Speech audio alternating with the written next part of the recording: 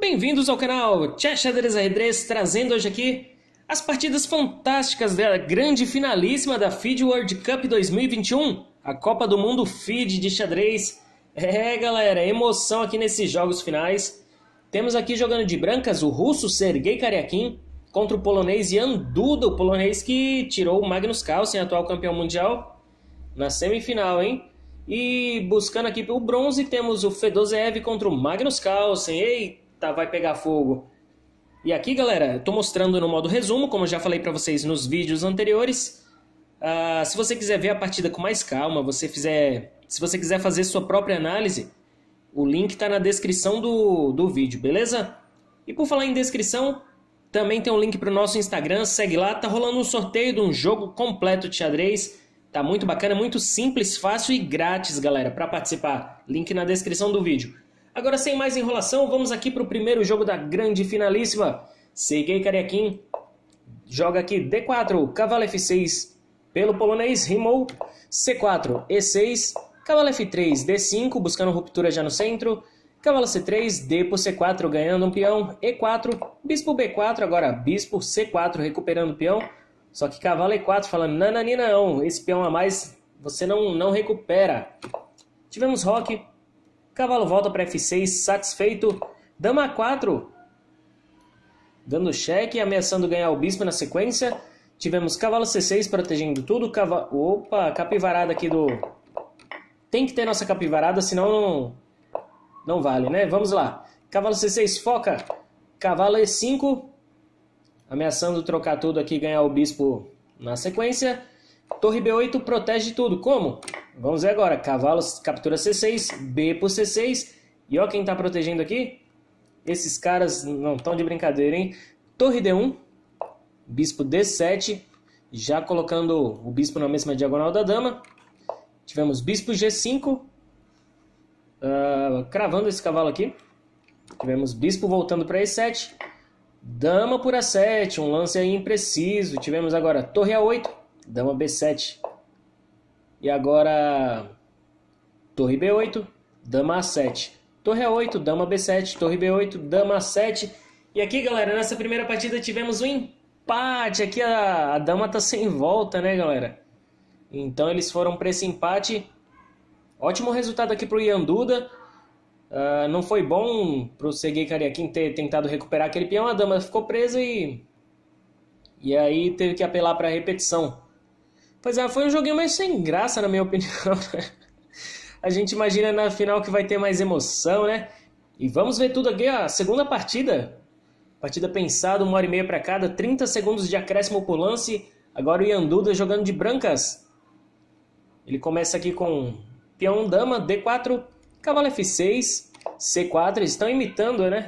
E6, cavalo F3, D5, buscando a ruptura, cavalo C3, só que agora o Karyakin não segue ali com D por C4, ele faz C5, temos C por D5, C por D4, Dama por D4, E por D5 e agora Bispo G5, cravando esse cavalo. Bispo E7 protegendo, E3, Roque, Torre D1, já colocando, já pilhando aqui nessa, nessa coluna D, né? Uh, podendo futuramente, quem sabe, ter trocado. Opa! Qualquer outro lance que as pretas fizessem, as brancas trocariam o cavalo e ganhariam um peão. Mas esse, esse desenvolvimento do cavalo veio com tempo sobre a dama. Então, dama A4. Tivemos bispo E6 desenvolvendo, bispo B5. Agora, dama B6 bispo por F6, bispo por F6 e agora cavalo captura D5, bispo por D5 e agora torre por D5, bispo por B2 e agora rei E2. Nossa, galera, quando eu vi essa partida aqui, eu falei, realmente é de outro mundo aqui.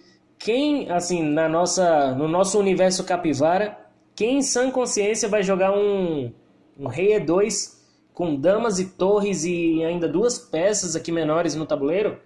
A gente que é capivara imagina o quê? Fazer um rock aqui, tentar esconder o rei, conectar as torres.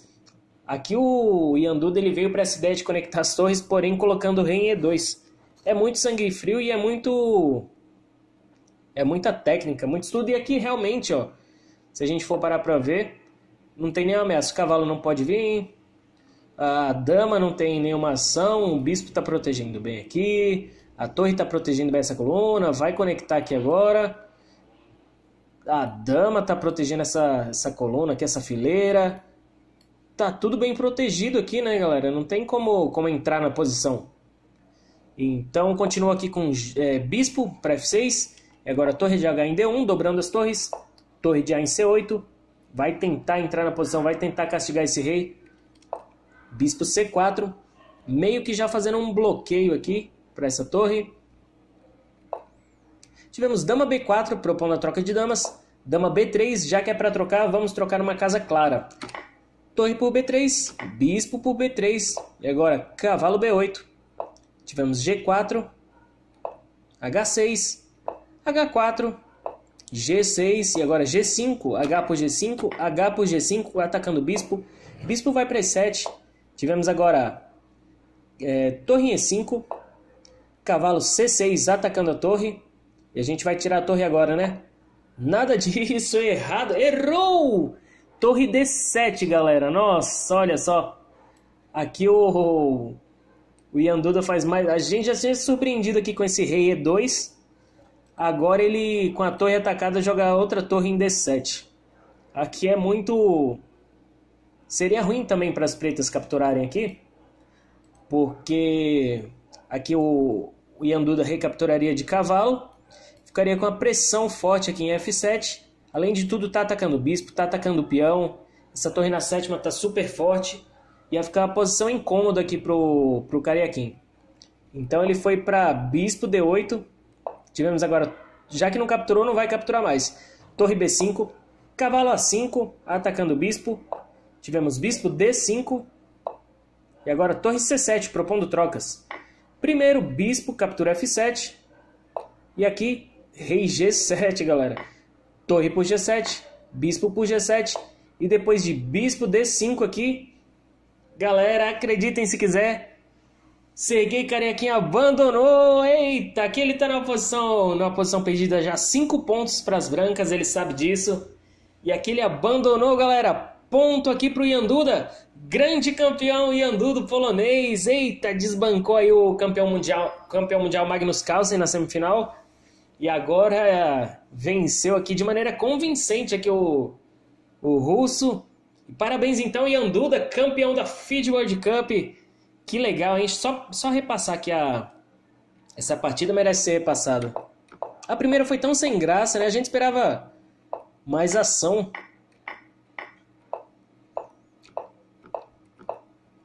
Só repassando aqui. Dama atacado, dama foi lá para 4.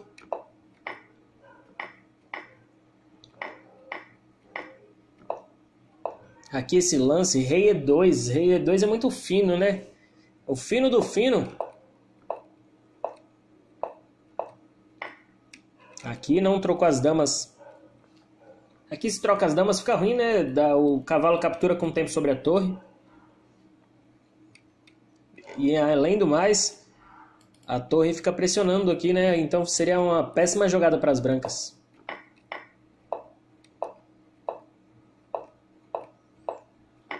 Veio com esses peões atacando tudo. Nossa, e depois essa, esse foi o, esse aqui é para ele fazer um quadro, galera deixou a torre e o Cariaquim sabia que não poderia capturar. Aqui tentou mais essa ainda, né? E aqui se ele captura, tá vindo... Ele ganhou um peão aqui, expôs o rei. Se o, se o Cariaquim capturasse aqui, simplesmente estava capturando o bispo lá com cheque. Depois tinha entradas chatas aqui do cavalo.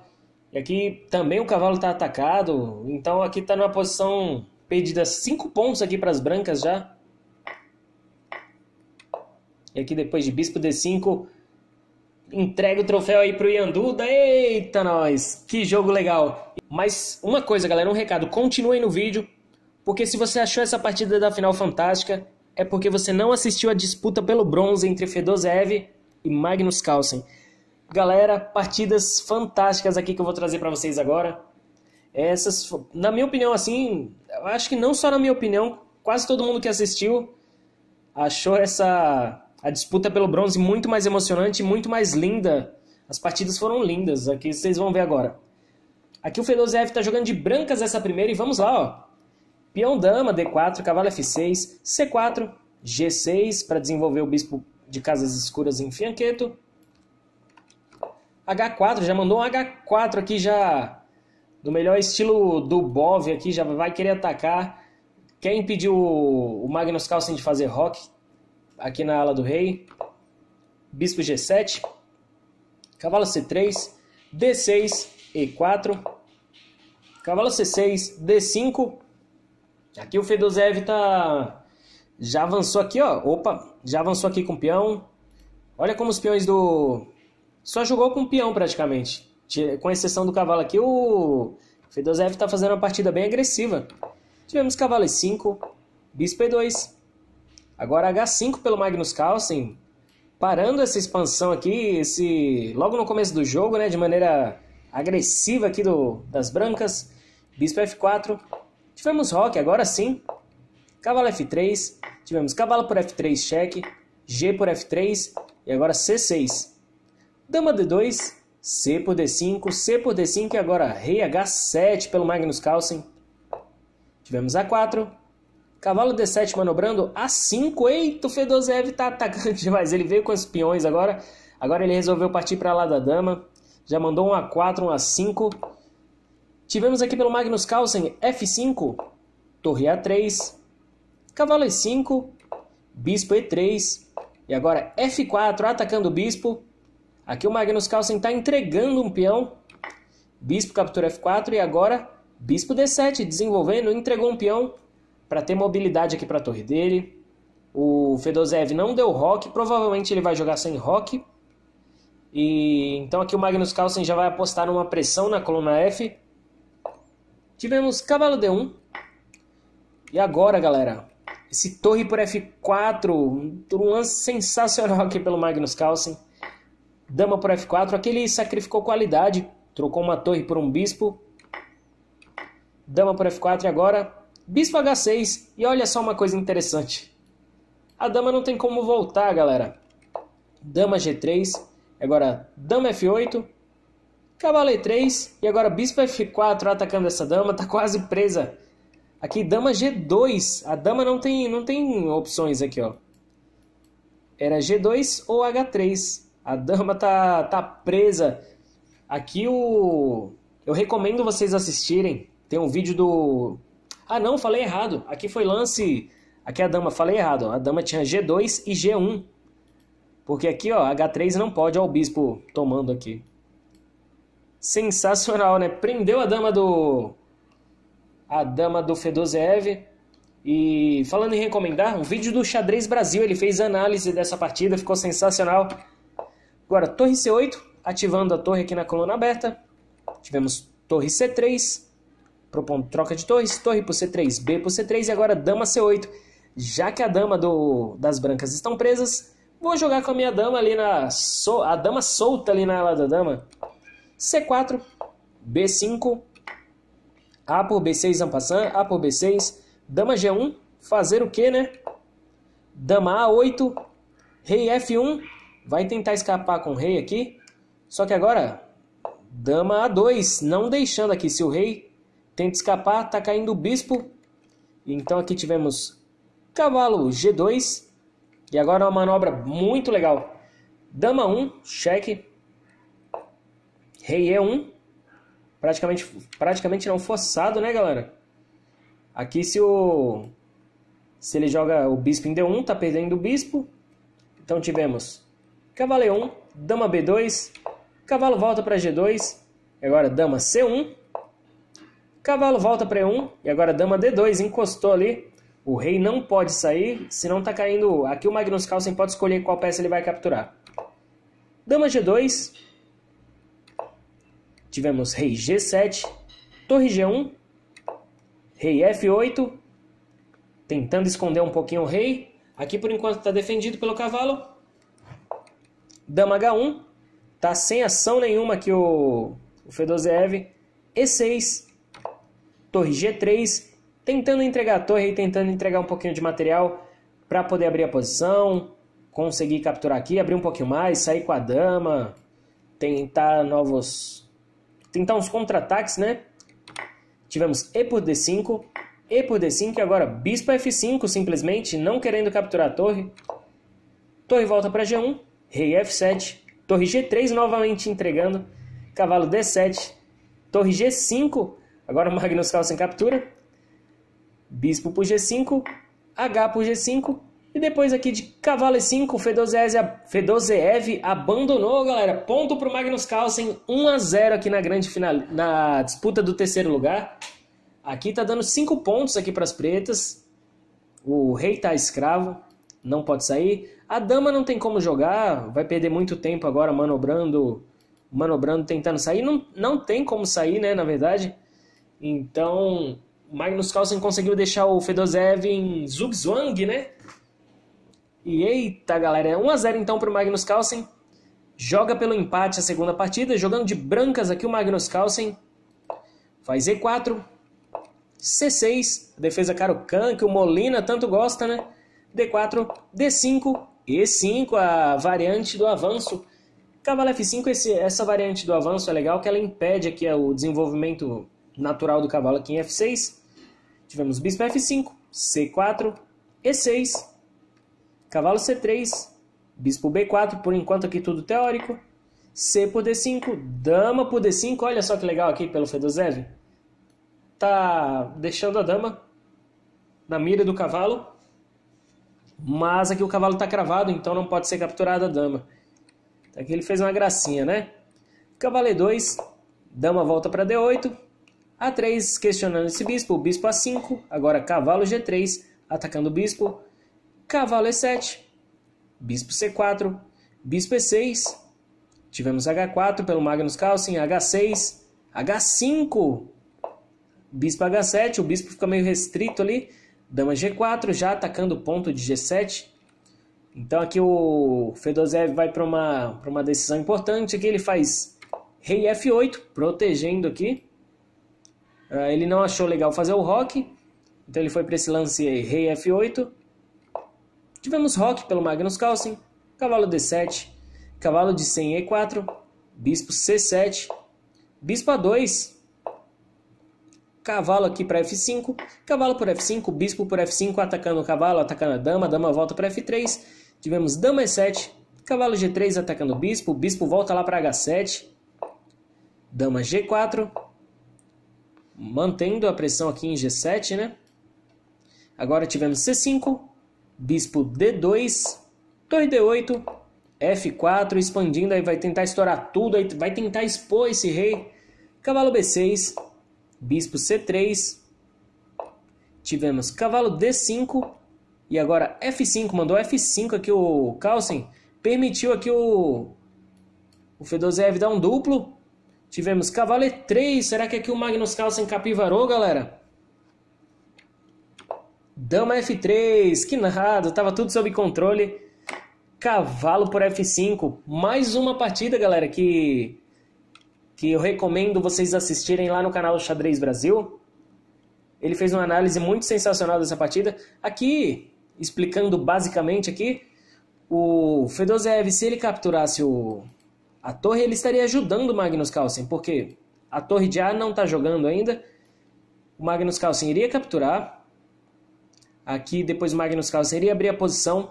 Tem um bispo atacando em F7 e teria, teria facilidade de, de atacar aqui o ponto de F7. A torre do, do Fedozev não está jogando, então nessa posição aqui, tanto faz aqui se o Magnus Carlsen perdesse ou não a torre, né?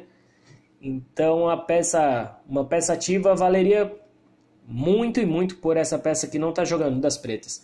Tivemos cavalo por F5, cavalo por F5 e agora bispo por F5.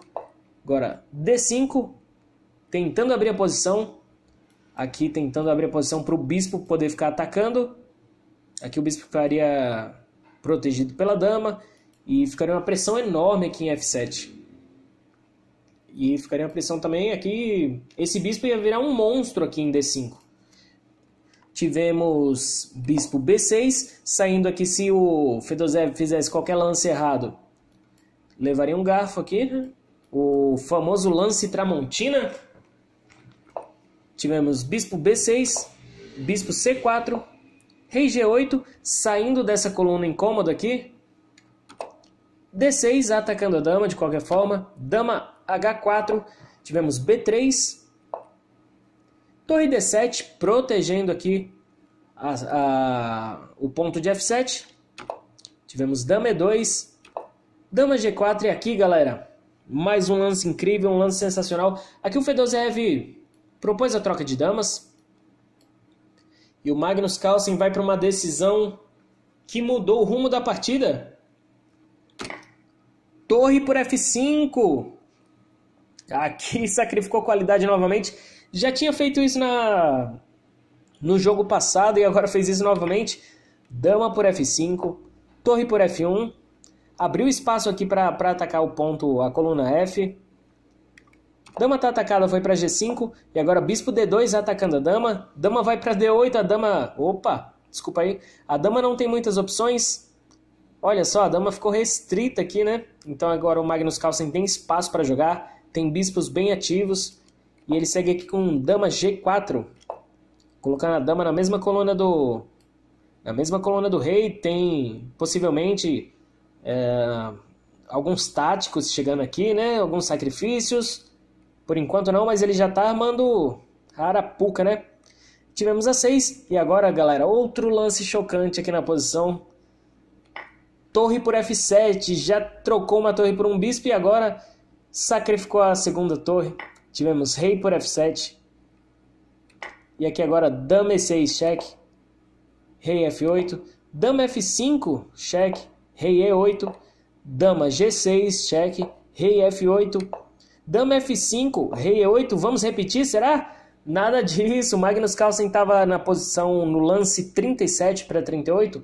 Ele repetiu só dois lances para poder chegar no lance 40 e ganhar mais 30 minutos no relógio. Então aqui o Magnus Carlsen repetiu.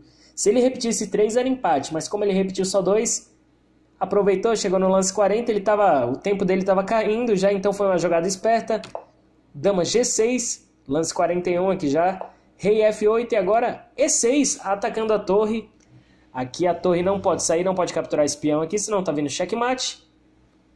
Então aqui ele deixou a torre e fez. Fedosev fez aqui o lance dama F6, propondo a troca de damas. Magnus Carlsen faz E por D7, ganhando a torre. Dama por G6, H por G6. E agora bispo aqui em D8, evitando aqui o a, opa, evitando aqui a promoção do peão. E aqui, galera, vale, vale notar o seguinte. Magnus Carlsen está sem as duas torres, mas olha a torre do Fedosev. Não está jogando aqui. Não está jogando aqui, está bem restrita. O bispo, o bispo não pode sair daqui, senão o peão vai promover. O rei. O rei não pode vir para cá. O rei não pode vir para cá. E o rei não pode vir aqui para esse 7. O rei não pode ir para lugar. Nenhuma das peças do Fedosev podem jogar.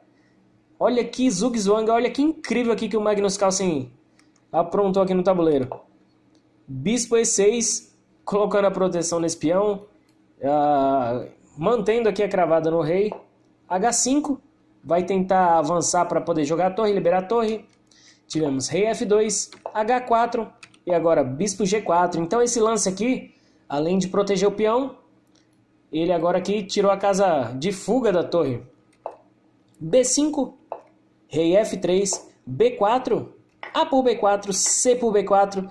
E nessa posição aqui, galera, Fedosev abandonou ponto para o Magnus Carlsen 2 a 0 e Magnus Carlsen com essas duas partidas fantásticas leva o bronze da Copa do Mundo, galera. Comenta aí, deixa, deixa aí nos comentários o que, que você achou das partidas. Na minha opinião, eu achei o bronze muito mais bonito aqui do que o do que as partidas do das finais. Foram partidas fantásticas aqui. E a segunda da final foi foi bem legal, mas como a primeira teve aquele empate, assim, ficou meio na repetição, então, na minha opinião, tirou um pouco aquele glamour da final. Mas de qualquer forma, foram jogos excelentes, foram jogos fantásticos.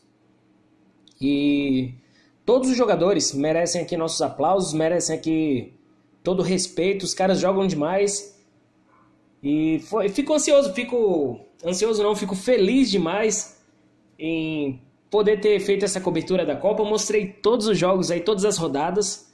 Comecei mostrando dos brasileiros, uh, depois, infelizmente, da eliminação dos nossos brazucas. Continuei mostrando aí os jogos eliminatórios, o da terceira rodada em diante. E foi um prazer enorme fazer esse resumão para vocês. Está chegando o Mundial final do ano. Vou mostrar para vocês também a final entre o Magnus Carlsen e o Nepomniachtchi. Tá chegando a Olimpíada, tá chegando um monte de, monte de coisa legal. Tem bastante conteúdo chegando no canal. E essa foi uma experiência muito bacana. Por enquanto ainda não posso fazer live. Uh, não tenho os recursos aqui, computadores, etc. O, as ferramentas disponíveis para fazer live. Mas fico muito feliz de apresentar os conteúdos aqui em forma de resumo, os vídeos semanais. E é isso aí, galera. Se você gostou dessa cobertura da Copa, se inscreve aí no canal, deixa o seu like, deixa o seu comentário. Segue a gente lá no Instagram. E é isso aí, ó. Ian Duda em primeiro, Sergei Kariaki em segundo, Magnus Carlsen em terceiro, Fedozev em quarto. Parabéns a todos. Obrigado aí, galera, pela audiência. Obrigado por curtirem aí o canal. E é isso aí. Canal Chess Xadrez Arredrez. Valeu!